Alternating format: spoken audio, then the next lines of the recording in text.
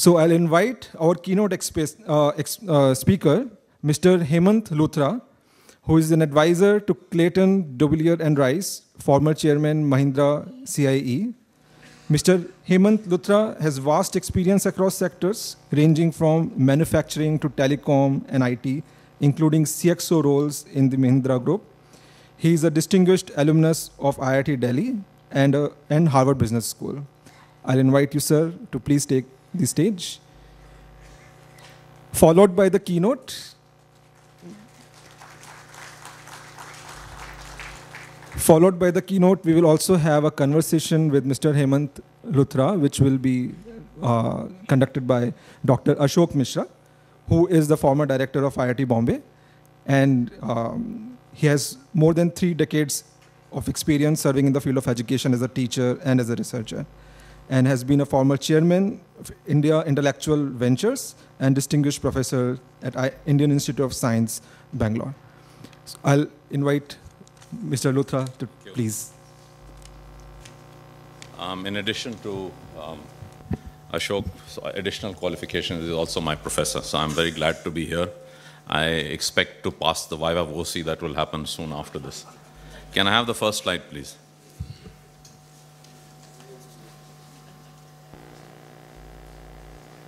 Um, coronavirus, but we are all here to see if I, you can help me solve a disease that I have been suffering from for the last 50 years. Um, my wife says that it has been there for longer. Um, the foot and mouth disease, but I'll explain to you why. Um, I was talked, somebody just introduced me about a distinguished alumni, distinguished this, distinguished that. It's all bullshit. I did my education at IIT Delhi. I thought I was an engineer. IBM took me on, and they said that you're not a good enough engineer, but you're a great marketing guy because I had not had the privilege of learning anything relating to finance at IIT Delhi in those days, seriously, um, I flunked my finance class. Uh, I was very angry with myself. I taught myself finance, and somebody thought in wisdom two years later to make me the Asian regional head for IBM Finance. When George Fernandes threw us out, um, IBM in India, we, I joined the Thapar Group in paper and chemicals. Uh, Mr. Thapar asked, and there's a particular reason why I'm saying this to this audience. Mr. Thapar asked, what do you do? So I said, I've been in IBM. He said, you want to be CIO? I said, no. He says, what were you doing in IBM? I said, marketing. He said, this is license, Raj. We don't need marketing. We only need distribution. What else do you want to do? And I said that I failed my finance class, but I taught myself finance. He said, you don't want to be CFO, do you? I said, God forbid, because I have no qualifications. Uh, two years later, um, trying to fix some companies which were going broke. There's no place in the world where you learn finance better than when it's a company is going broke. So I was made CFO of a large $5 billion group at the age of 32. When the family started fighting with each other, went to private equity, then I went to telecom, started part of the telecom business, and then when SR Telecom ran out of money, I joined Mr. Mahindra, and therefore when you talk about entrepreneur, and there's an average age that we're talking about 32, I started my entrepreneurial career at the age of 50. And the reason why I started at the age of 50 was that A, I lost my wife when she was only 38, Ashok knows her, and then I had to put my career on hold, then Enron went belly up, telecom got sold. I never had a chance to build my legacy, and Anand Mahindra gave me that freedom. So the education is still ongoing, and I only wish to advise those of the students who are here that um, um, what you are preparing yourself for is not what you're going to end up doing. Let's go to the next slide. Next. Um, Gopal talked this morning about um, the biography of innovation, and I will not repeat it, but I'll use the same metaphor that um, there's conception, which is the equivalent of fertilization, developing the ideas, infancy. There's prototype and childhood, product and business development. There's adolescence. Then competition shows up when you become an adult. And there's maturity when you have to recognize the potential of the business. And then there is aging, and that is renewal. But since I am going to talk about something else, I'll use a different metaphor. And I hope some of you have seen this movie. Next slide, please. which is the intern. Okay, and the intern, if you know Robert De Niro, is a 70 year old guy trying to help a 25 year old girl to take over her father's business and um, is wildly successful because she sees the gray hair on his head as adding some value. And here, because we are transcending between childhood and adolescence, my favorite nursery rhyme is one who knows and knows he knows is a wise man, you seek him. One who knows not and knows and knows he knows not is a child, you teach him. And one who knows not and knows not that he knows not is a fool, you shun him.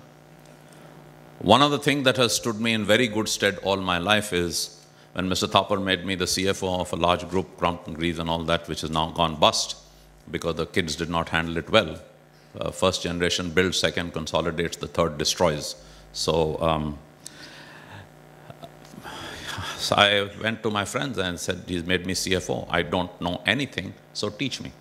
As soon as you say you don't know anything, like a shot, people will teach you.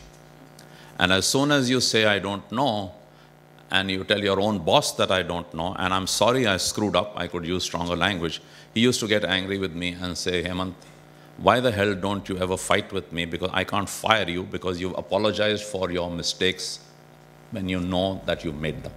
So, learning how to say sorry and learning how to say I don't know are the two greatest things that we will learn as we go forward in life. And you reach this gray hair. Um, everybody talks about innovation and the challenges of innovation. Let's go to the next slide. And believe it or not, it is not just in institutions that there is an issue about whether you have institutional support or whether you have cutting edge infrastructure, even if you're an IIT. Okay. Even in a Mahindra, okay, there's a social stigma. There's a bias that I should go to a safety net. I don't want to go to a new job because who knows whether it will succeed or not. So when Anand Mahindra invited me to join the company, he's, that was um, 20 years ago, he said that, Hemant, this DNA of Mahindra will spit you out. I hope in this room Chatham House rules apply that we are not going to be using any quotes, okay, because I'm going to be completely free and frank. And um, would you like to strike, take over the automotive business? And I said, no. Would you like to take over the tractor business? And I said, no. And he said that it's a good idea for you to be under my tutorship because the DNA of this company will spit out a newcomer. So why don't you look at M&A because you come from private equity? Next slide, please. Um, I was hugely motivated because my friends Aditya Gupta, Aditya Puri had started an HDFC bank from zero, which is 100 billion. Asim Ghosh had started Hutchison and sold it to Vodafone. Of course, now we don't know what's going to happen to Vodafone tomorrow. But he had created a business which was worth 20 billion, and it was my dream to create something in my legacy so that would survive. And um, there was no past experience, there was nothing. Okay. But there was a dream that I want to do something. And next slide, please. And the biggest thing that makes it work is I told Mr. Mahindra that we will try and build a billion dollar business in revenue, a billion dollar business in market cap in five years. And he said it's the outrageous ambition of an irrational CEO, but go do it. And he said, Why are you aiming for this billion by billion in five years? I said, if I don't aim for that, I will got lost in the decimal places of the Mahindra balance sheet and the I'll be of no consequence to you. And then I was 50 by then. Okay. And that's why when you talked about 32 years average age, okay. I was invited to speak at A.T. Kearney International CEO seminar in which they said that the Finnish Prime Minister was there and he said, why are you guys worrying about Europe? And Europe is getting old. Don't worry. In Finland, we have a saying that you will not grow old as long as you have more dreams than memories. Just remember that as you look upon, as you look down upon people with like me with gray hair. Okay, I have those dreams, and those dreams drive, divide, drive me. The trigger came in 2008 or 2005 when a number of auto component companies were going broke in the US and this is a picture from Business World. And my friends at Tata, we were always competitors, but we were also friends, were saying that this is a big opportunity in history to move manufacturing from high-cost Europe and high-cost North, North America to low-cost India. We had moved up the skill set. And the second thing that was the trigger was Valtra, which is a tractor company which was three times the size of Mahindra's business, three times the size of Mahindra business. We bid for it, but in M&A there's a nice saying which says that some of the best deals are the ones that you did not do. Okay? We were shut out by European competition because the European competition did not want a high cost, a high quality, low cost manufacturer to come and spoil the market. And that due diligence spawned a new idea and therefore was practical training lesson number one. Next slide, please. Next. Next. So practical training of putting my foot in my mouth is now getting more refined. And um, we decided that when you do mergers and acquisitions, it never, ever works if you buy it in an auction. Okay, it only works if you make eye contact, if you make friends with the people, you, if you... So we did 17 acquisitions, which took us from zero to 3 billion in euros market cap and 5 billion euro in revenue in less than seven years. But not one was an acquisition, not one was an auction. It was eye contact. And this picture that you see, next one, is you see of a very polygamous Anand Mahindra with one Anuradha and five other um, polygamous partners. Okay. And a guy like me from IIT, like you guys from IIT, did not know enough about history. So when you start doing a major, major project, you go back to history to learn. Next slide, please. And there's an Akbar Nama where he was acquiring territory, revenue, consolidation, culture, arts, religion.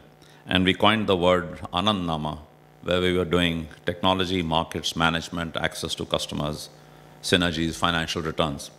And this is not a presentation that I made for today. This is a presentation I made for an internal seminar because these seminars get very boring. And unless you poke fun at your boss and unless you poke fun at yourself, there's no fun.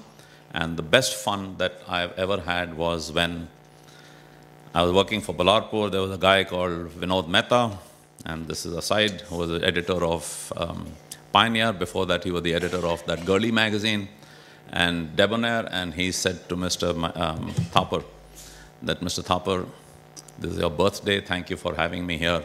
All bosses are sons of bitches, but you're the best son of a bitch that I've ever known. Okay. so next slide, please. Um, in the M&A process, I made maybe 100 trips to Europe in 15 years. Uh, these people attended my son's wedding. I attended their baptism. We shared a lot of um, um, pre-merger synergy. All these bankers that talk about post-merger synergy talk bullshit. It never works as well as pre-merger synergy. None of these deals took less than two years to reach maturity. Okay.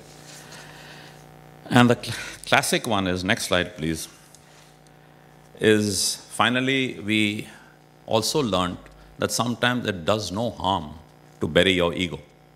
So we came across a Spanish company in 2008 in the midst of the Lehman crisis. And the Spanish company had a base in Spain, uh, in Latin America and Spain. And Europe was slowing down. And we had a base in India and in Europe, but Europe was slowing down. So we could have built plants in Latin America, and I could have lived on a plane and said goodbye to my wife or we could do a simple equity swap that they take equity in us, we take equity in them, no capital is wasted, markets loved the deal. Mahindra surrendered majority control, but did not take cash off the table.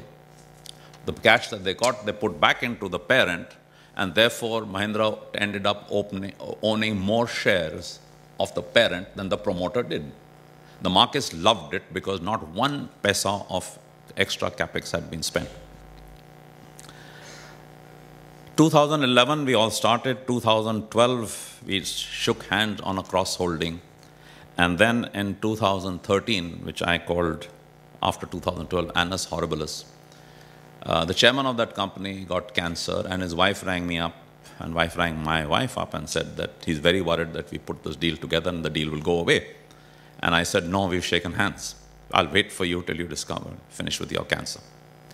I waited six months, then when he finished with his cancer, my doctor told me I need a bypass surgery. And he said, I'll wait for you. Okay? And we waited for each other like courtship for 12 months with a handshake on the swap ratio. And then when the bean counters came into play, and they said that, listen, guys, numbers have changed. His numbers were 20% higher, mine were 20% lower. We need to renegotiate. I rang him up and said no. And he said that, Hemant, I agree with you. We've shaken hands. We've waited for each other. The deal is done. There's no re going back on the deal.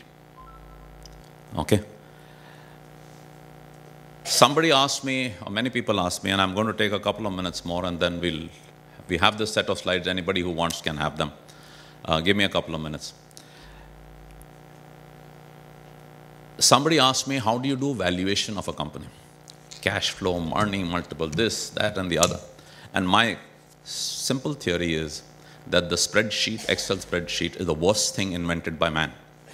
Okay? Because during my time, I used to have to make all the right assumptions and get one number. Today, my executive assistant will come back and say, if you change the interest rates by quarter percent, if you change the growth rate by half a percent, if you change the market share by 2%, if you this, here are 32 options, Mr. Luthra, make up your mind, what, which one do you want? And if you ask me, how do you do valuation? You look the other, other guy in the eye, you stick your finger in your mouth, and you get a value, and you won't be far off. you won't be far off. The other learnings from this was, um, next slide, trusting and knowing each other makes a huge difference. Valuations were settled on the golf course and over a glass of wine. Thinking big was a big deal. Next slide, please. We made those acquisitions that I told you about. Next slide, please. We are now in 98 productions, 17 countries, more than 5x of the share price between 2013 and 2019. Okay. Next slide, please. Um, don't take your, don't let your wife wear a red sari to a Spanish bullfight. Um, do carry your golf clubs if you want to go to Spain because they don't discuss anything in the board meetings. They only discuss them over lunch and on the golf course. And next slide, please. Where we have reached is with Fortune magazine saying that this is the highest wealth creator. Forbes magazine saying the same thing. And that's what happened. Now, just two more. If you make auto components, should you make as built to print or should you design them yourself? If you design them yourself, you own the intellectual property. So next thing that we did was, next slide, we started an engineering and design company. Next slide. So that we could protect the intellectual property. One thing led to another, and all of you who've driven, next slide, all of you who have driven Mahindra cars maybe love them, but I don't think great, too many people love the styling. So we went and bought the world's greatest design and styling company called Pininfarina, does that styling for um, Ferrari and company.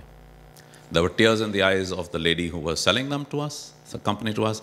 Will you retain the name of the company? Will my husband's pictures, he, she was 85.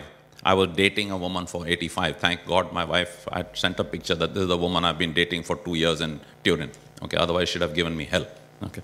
Um, it's now part of the Mahindra group and they are an independent company that do the design and styling and you therefore you'll start seeing new cars coming onto the day. Next slide, please.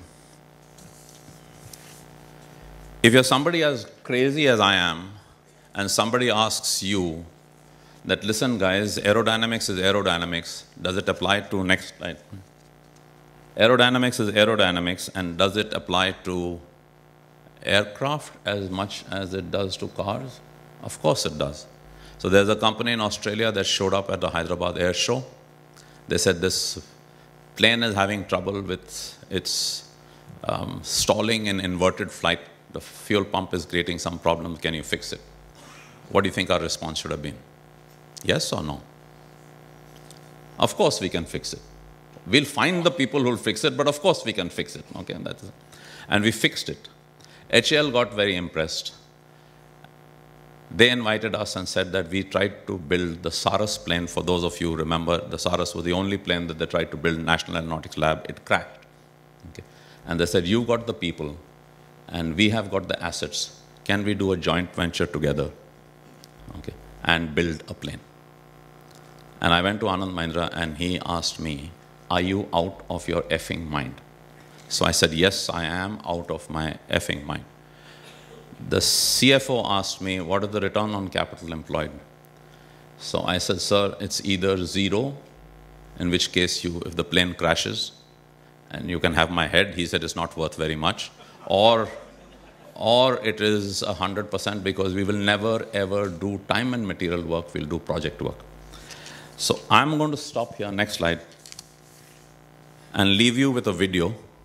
And for those of you who are interested in the rest of the slides, we talk about giving back, startups, which I'm now working with, whether it is in, um, in child care, health care, and so on. I'm more than welcome to pick up the slides. But can we have the video, please?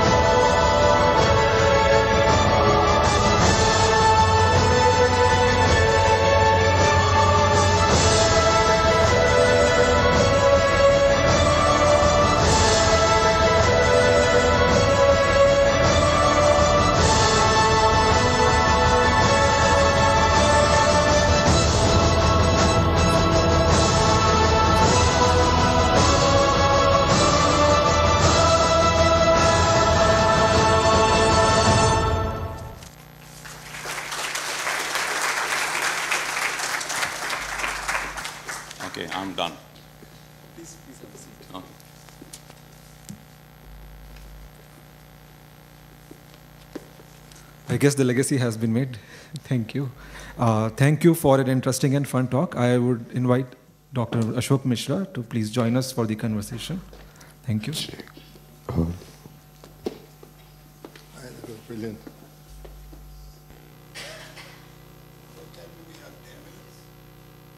Says 2050.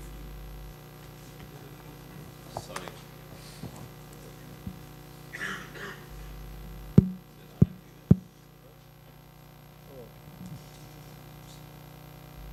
Ashok has come a long way. And I have foot and mouth disease, so please forgive me. I'll stop and stop first. And I'll put a timer. Um, so uh, excellent talk. Um, so much experience and so much all this that you produced. Let me ask you a few questions. Uh, and just as a, you went to IIT Delhi. uh, today, uh, in 1970, in the 70s, today the youngsters who are uh, at IIT Bombay, Delhi, and several IITs are thinking of startups, either working for startups or or uh, starting their own companies, much more than they did in, in your time. Absolutely. But yet there were entrepreneurs from your batches, from your batch. There were very few. If uh, you go fast forward, do you, if you were to graduate like in the last five years, would you have gone for a startup with your mindset? Uh, No, I don't think I was a risk taker. Okay, startup with my own capital was not something that was um, available to me, option was available to me at that time. Today, if it is available to me, and if I, if my son has done it, because he has the comfort of the fact that the father can provide the source seed Okay. capital, okay, and therefore he's done it. But if I had no seed capital, and if I, my father was a government servant and my mother was a professor, no, that, and even now I'm surprised that in Mahindra I chose to the option for starting up, okay, because I thought to do something in my own mold is what I wanted to leave behind. So I would but- encourage people to do stuff. But in the Mahindra case, it was Mr. Mahindra's money. So therefore, easy to do the startup and somebody else is putting the cash, no? Yes and no. It was yes, Mr. Mahindra's money, but the, even inside Mahindra, to get people to move from the comfort of Mahindra stock options and to move to a new venture, you required a different mindset of people that were inside. It was mm. not easy to get them to switch from the comfort of Mahindra Auto and Mahindra tractors to do something. At the end of the day, they made out like bandits because the share price has gone up five times in five years. The engineering services business, the share price has gone up, I think, 15 times or 20 times in 10 years. So, but very few people, even today, I see inside Mahindra, are willing to take that gamble. They want to be safe rather than, and the culture, even in Mahindra, does not necessarily say that go do a startup. So with this aerospace thing, what is the, how many planes are you selling in India and making in India? and all that? Unfortunately, um, given what has happened, we've been selling 20, 30 planes of the uh, eight-seater kind. Okay, To but we need a break even of 50. And um, we tried to buy this company called Hawker Siddeley, Hawker Beechcraft, which makes the King Air and so on. But Textron bought it. The plane that we've designed is a five-seater can be sold for 500,000, eight-seater for 800,000, a 10-seater for a 1000000 It's one-third the price of the Cessna. But the amount of effort that is required to stick with it and get the certification and testing and so on, you also come across the Cessnas of the world who will put some pressure and say on the FAA and the Australian authorities, okay, to take their longer time certifying the plane. So uh, is So one of the things I heard is that a five five-seater plane in India requires two pilots. Do you have provision for that? sorry five-seater. Planes in India require two pilots. That's the biggest problem, and where it is coming from is. Um, But in no other country, only no other in country. India. You're absolutely right. You're absolutely right. Because if it's a five-seater plane, single pilot, okay, um, it's been certified in the US, it's been certified in Canada, it is certified in Australia. But in India, this um, it, uh, they say that no, we can't. So how do you solve that problem? It is a huge problem. It- It's not selling in India, so we are selling it in Africa Oh. for bush tourism. We are selling it in Australia with remote parts of the country. We are selling it in Alaska where there are no ro- roads. We are selling it in Siberia. But in India, we are not selling it, and we are able to sell in all these places because the price is one third of the Cessna. Oh, yeah. All right. So in one of the slides you said uh, your education is ongoing. Uh, what more have you to learn in your life? You know something? Um, what more? I don't think I know enough at all because maybe I'm blessed. I would certainly say I'm blessed. After I lost my wife, I married somebody who's 15 years younger. And all my friends are her age group. They're all working, and I draw inspiration from the fact she'll get bored out of her mind if I went and retired with my friend. So I'm mixing with her friend.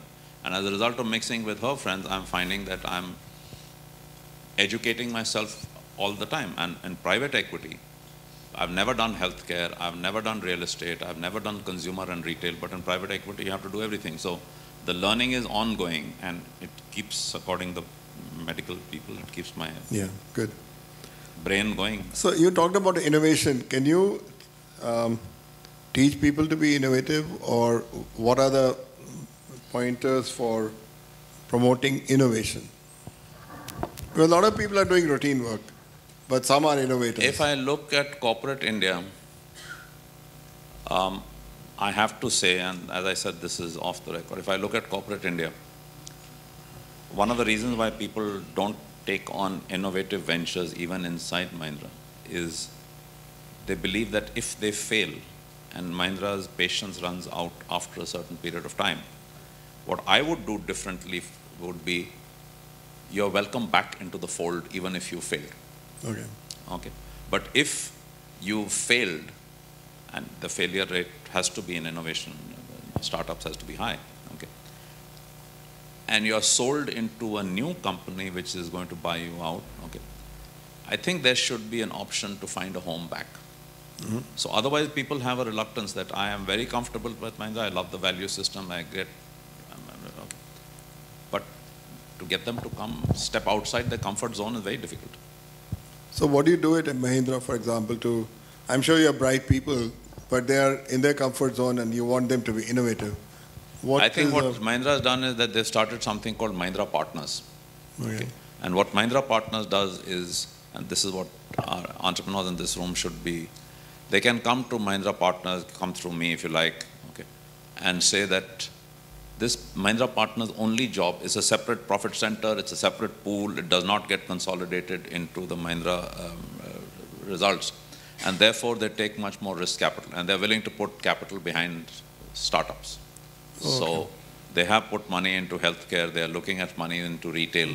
So people who have got this, and Tech Mahindra also, which is the IT company, has got a, a pool of venture capital. Um, a related question, everybody talks about innovation and so on, uh, but I think invention is the base of all innovation. How do you define What the is the invention? If there is no invention, there is no innovation, as I see it. So how do you how do you distinguish between an invention and an innovation? I, Like fly, to be honest with you. getting you, to a uh, plane, something to fly is an invention, I- but making making it better and better is innovation. is it an invention? I don't know. The plane to fly. I'd love to take credit for it, but I don't think so. But what we can take credit for is the specs that we laid down for that plane, which is that it should be able to land anywhere, take off anywhere. Okay, whether it's they should not need a metal air runway. The fuel efficiency should be no worse than 30% higher than an air-conditioned car. Okay, the plane should not need to fly more than 150 knots because you're trying to do it Delhi, Bombay, Delhi, Pune, where you can spend seven hours or six hours in traffic. So that was an innovative spec. But have we done any invention inside Mahindra? I don't think so. And therefore, I'm not sure that um, I'd love to see invention, but I have not seen in 20 years a real, true invention, other than what you and I are funding Okay. with respect to um, alternate energy. Um, so you have been advisor, which the, the, was in your slides, but we didn't get that far, in a company called Log9. Um, uh, it is based on graphene, uh, and uh, which I also know about. So let me say a few words about it. There were there were these guys from IIT Roorkee. They went for an internship to work with a professor who was working in graphene, and that excited them. And now they have a company and making products based on graphene. Do you think that's a good model that people should go and work with innovative professors and come back and start, you know? I think it's an excellent model. Because if there are professors whose DNA will encourage the, the, the Akshay Singhals of the world to, Yeah. um, uh, Can you talk a little bit about Log9? sorry? I'll talk Two a little minutes. bit about Log9, which is that Ashok is an advisor to them. I'm also an advisor. I'm also an investor. And uh, Log9 has taken graphene as, um, they've figured out how to make graphene and pack it into um, a, a pad, and that become the cathode, and aluminum becomes the anode. And they have water, and they have to get the thing going so that hydrolysis generates electricity. And they've got the cell down to a size about this size. which can do about um, 2.5 volts per cell. And if they can shrink the cell and they can actually uh, uh, get it up to 6 or 8 uh, volts per cell and put a series of cells, then they could be able to pack it into a car which runs on water. So they took a Mahindra car, they've done it, okay, and uh, we've tested it. We've driven 25 kilometers on a bottle of water. So it's a great thing. Sequoia has put money into it, and but without getting into the specifics of somebody, one other thing that I have learned in my experience is that the principal reason for failure is announcing success too early. Principal reason for failure is announcing success too early. And I think on my last slide, for those of you who are interested, and feel free to pick it up, there are a dozen uh, things that you should not do, okay, as a reason for failure. A single founder, arrogance, trying to do something too quickly, too fast. Um, so, um, and then one of the things that we find the principal reason for commercial failure is, okay, um, you're a great inventor, but you're not really a great manager because mm-hmm. a kid of 25 cannot be a great manager. He needs to have the openness to be able to induct a manager, and that's why I took the an example of the movie called in uh, you know uh, the intern, where Robert De Niro is 70 and tries to 25 year old. I wish entrepreneurs would जिस तरह हिंदी में बोलते हैं मूछों का ताव थोड़ा नीचे कर लो ऊंचों का ताव नीचे कर लो और थोड़ा कुछ सीख लो। हम लोगों को भी अभी इतनी अकल है कि आप कुछ सिखा सकते हैं about execution perfect so time is running out I ask only two things one is more of remark but one of the things which I been thinking of is that if companies like Mahindra and Mahindra और बजाज और रिलायंस और whatever Jio of Reliance if they can have a set of problems that they have their pain pain points, and give it to uh, institutions like IITs where people can take up startups so there would be directed startups, or if something like the light combat aircraft, which is made by HAL, uh, they require a lot of help. They can't do everything themselves. If that can be given so that uh, a, a potential entrepreneur, instead of starting from his or, or her thought, has a list and picks and says, oh, I know this area, I want to start up in this, then the market is sort of assured also and helps the government, helps the country, helps the uh, major parent company what do you think about that? Ashok, I think it's a damn good idea, except, okay, that the problem with engineers, okay, and I'm also one, and there we lots in this room, once they get into the corporate world, there's something called the not invented here syndrome. The ego does not allow them to reach out. We have a company called Pininfarina, the greatest design company in the world. Okay. But the engineers inside Mahindra will not reach out and say, can you improve the styling? because Pininfarina as an independent listed company, even though it belongs to Mahindra, should be able to charge arm's length pricing. So I think it's a great idea, but the problem is not inside with the entrepreneur. The problem is with the mindset of the guy who's reaching out and saying, I need some help. But that's solvable, right? Sorry? That's solvable. It is solvable if I think I'll tell you how it gets solved. Once a company runs into some problem, no, and I'm again saying for, uh, please, this is just between us, all of us. If Mahindra's market share has fallen in SUVs from 50% to 25%, okay, that's the time when they start to reach out and say, what do I need to do? Okay. But when there is a comfort level, that's when गाड़ी चल रही है. that's the time to, to reach That's out. time. Perfect. The last question I would uh, pose it. You know this uh, uh, SINE uh, um, was highly, greatly supported by Rahul Bajaj through the Bajaj Foundation and so on. In fact, uh, they call it the Rahul Bajaj Center for Innovation and, and things like that. Now, he was generous enough. Would there be other companies who would be willing to step out and say, look, I'm putting so many crores for um, promoting innovation in terms of money without any uh, strings I think the companies because this is such a great idea. I don't, I haven't seen this anywhere else except IIT Bombay. Can this be replicated, like maybe an M&M center somewhere else? You know, you've got a Tata Center for Technology Development over here. Okay. For the last four years, because of internal complications with the Tatas themselves, okay, the funding has dried up. Um, I'd love to see more of it happening. There's no question that I'd love to see more of it happening. Okay. But what we discussed yesterday when we were sitting down at TCTD was okay, that maybe we need to use the today's digital world to do the marketing. Okay, Mm-hmm. and therefore, what I would like to see happen is that if the professors are here Mm-hmm. who have certain skills, and there is a website that I can go to, Mm-hmm. okay, and then at the, on that website, okay, companies can also access that website. So the marketing of the, the it, it, it, can, it, can, it, it creates a, it creates a forum by which people can talk to each other. Okay. And I'm taking the example that one of the greatest guys whom I would recommend for you to talk to and maybe in retail is Harsh Mariwala. Mm-hmm. Harsh Mariwala has created coconut oil and everything else and his market cap is 5 billion. He runs an outfit called Ascent, A-S-C-E-N-T. On Ascent, entrepreneurs can register themselves. Mm-hmm. And he has invited some mentors to register themselves. Okay, he invited me to register myself. The entrepreneur can look at the profile of the mentor and say, this is the mentor that I want. Okay. Perfect. So if you create a marketplace, in my opinion, at IIT Bombay, and say this is the quality of skills and professor that we have, okay, this is the kind of work that they can do. You companies, can you reach out in pollution control? Can you reach out in electronics? Can you reach out in this? And we'll put you two together. So at least it becomes a live marketplace. Okay, That's what my suggestion would be. perfect. And maybe you can play a role in that. Okay, thank you so much. I think you've um, touched on a very large number of things. Um, and I think maybe you can interact with IIT Bombay to take some of these things forward. Let's give uh, uh,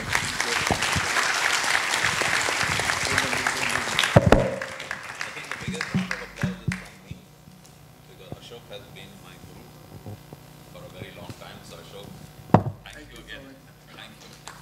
Nice to come back to the guru. Come back to the guru. Thank you, Mr. Luthra and Dr. Misra. I would invite Poini to please hand over a token of appreciation from our side.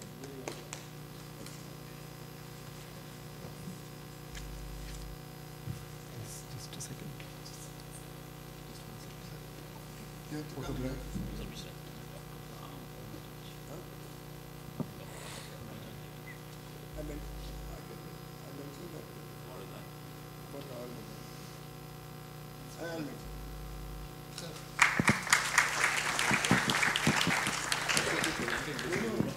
You can present. You have to, you have to give me a second to write my form, please. What you do is, let me give you, just take a breath in and Thank you. all. Thank you. Thank you so much.